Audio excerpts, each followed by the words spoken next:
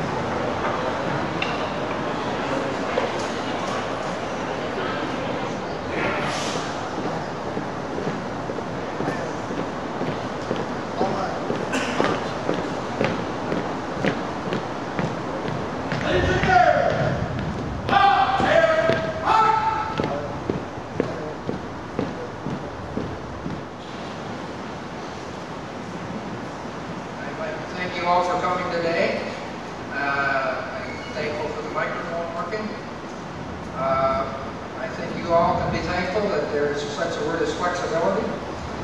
We have had, services in here before, and the cemetery have never switched plans in the middle of march before.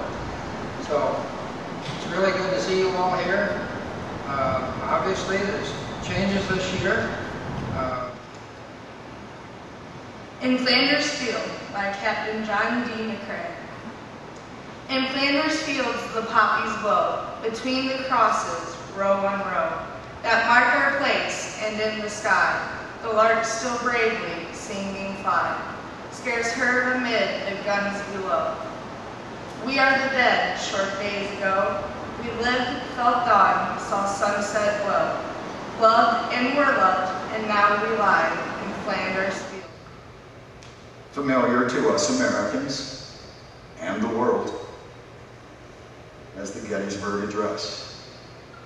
Please listen closely as I read Mr. Lincoln's address. Four score and seven years ago, our fathers brought forth on this continent a new nation, conceived in liberty and dedicated to the proposition that all men are created equal. Please remember the motto of this great state, Ohio. With God, all things are possible. Thank you for having me. Please have a precious, a safe, and a beautiful